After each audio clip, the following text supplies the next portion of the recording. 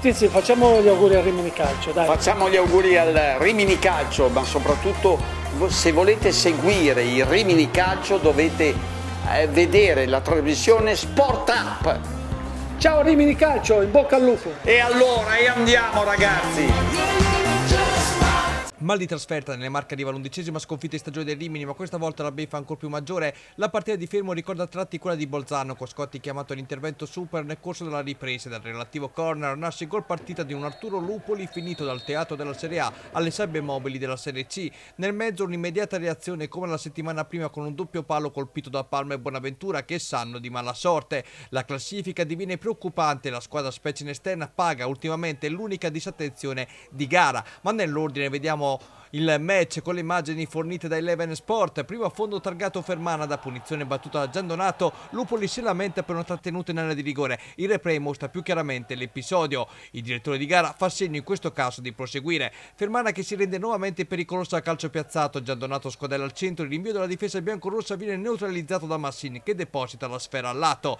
La replica del Rimini perviene dopo la mezz'ora con questa conclusione di Alimi che non c'entra il bersaglio. Squadra riposo sullo 0-0. A 51esimo arriva l'episodio chiave. Da punizione di Giandonato il tiro di Messini respinto da Scotti sulla traiettoria della sfera c'è Lupoli che chiama un intervento superlativo e il portiere che si rifugia in corner.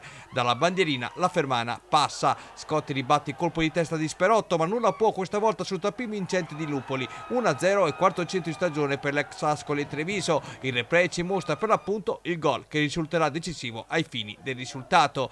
Il Rimini subito il colpo trova l'immediata reazione. Passo minuto e Nava serve in area Palma Palma che centra il palo alla destra dell'estremo di casa. Sulla ribattuta Buonaventura può ribadire in gol il pallone ma centra un'incredibile traversa divorandosi a questo punto il pareggio. A 75 il tiro dal limite di Sperotto viene bloccato senza problemi da Scotti. All'89 dall'angolo Nava colpisce malamente il pallone di testa. Speranze di pareggio che tramontano con questo tiro da dimenticare avvenuto dalla distanza. Mentre dall'altra parte in pieno recupero la Fermana va vicinissima al raddoppio con Varder Reiden apprezzabile lo stop ma non la conclusione. Fermana che comunque confeziona la vittoria riscattando la sconfitta dell'andata dimostrando come la matematica sia a volte spietata. 18 gol all'attivo varsi i punti attuali in classifica. E a livello di matematica Rimini da stasera pesa come un macigno quel benedetto 1 in fatto di vittorie esterne